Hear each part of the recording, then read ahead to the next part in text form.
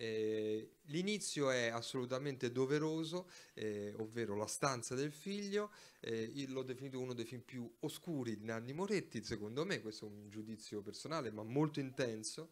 Eh, la storia, forse la conoscete, è quella di una famiglia mh, borghese, eh, anconetana, comunque girato e ambientato ad Ancona, quindi nella provincia, diciamo così, quindi non a Roma, neanche in una grande città eh, come Milano o Firenze e, e c'è un lutto, un lutto tragico, drammatico, improvviso, credo se non ricordo male un incidente hm?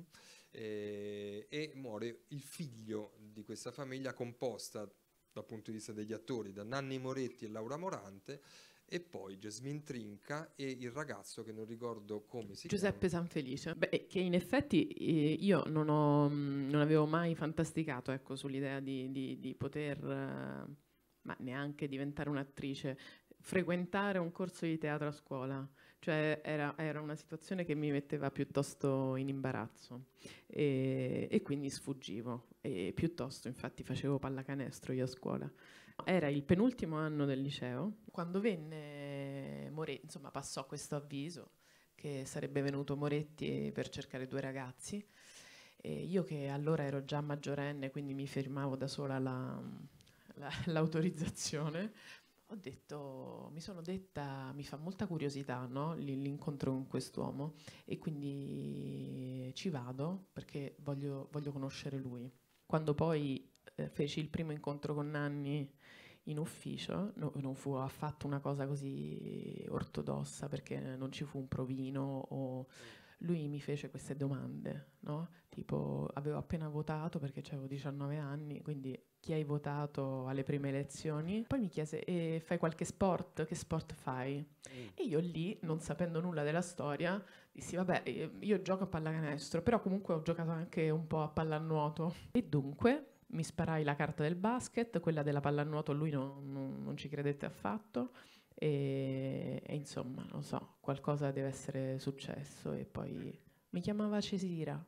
Il film di Nanni è durato dei mesi, quindi eh, non due mesi, ma mesi e mesi e mesi. Io ho fatto tutta la maturità sul treno Roma-Ancona, continuavo ad andare avanti e indietro perché avete girato d'estate? Abbiamo, no, no, abbiamo girato durante ah, no, l'anno, quindi dire... io no, no, ho fatto tutto l'ultimo anno facendo avanti e indietro.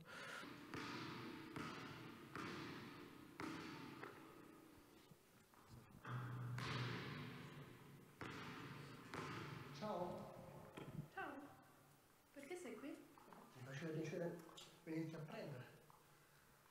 Come non si andate via con le altre? Prima di andarmene volevo fare 10 canestri di seguito. 10 di seguito. Però non mi sembra serata.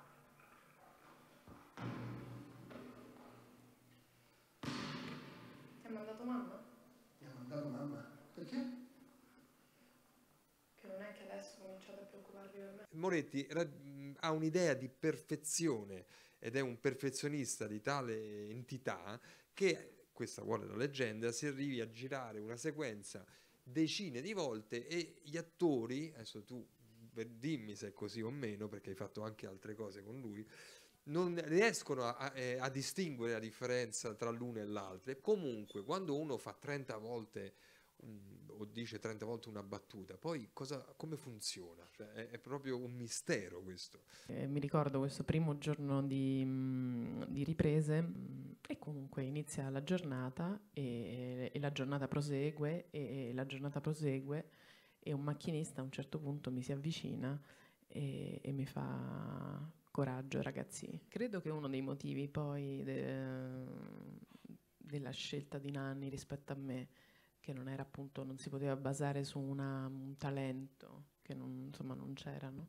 eh, viene, viene, un po' da questo, cioè dal, eh, dall'idea che mm, gli attori insomma, che lui cercava per, questa, per, questo film fossero delle persone con un vissuto non necessariamente così di identità rispetto alla storia, ma con qualcosa eh, che fosse stato già così profondo o di riflessione nella loro vita. Il secondo film che abbiamo messo nella nostra scaletta, ovvero La meglio gioventù, film notissimo. Eh,